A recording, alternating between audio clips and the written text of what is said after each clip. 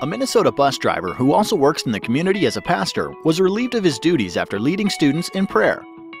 Following receiving a complaint from the school district, the bus service switched driver George Nathaniel to another route.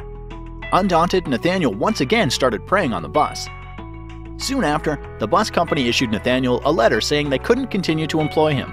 It specified the reason as not only the complaints about the prayers, but some general performance issues as well. A spokeswoman for the school transit service said that they don't have a specific policy on prayer. However, it is written into the contracts that the school district has the final word on whether bus drivers stay or go. Nathaniel defended his position, saying that when reassigned, he asked parents if they minded. No one expressed that they did. He also said it was his First Amendment right to do so. The ACLU doesn't see it that way. The legal director of their Minnesota affiliate said that by leading the prayers, he was actually violating it.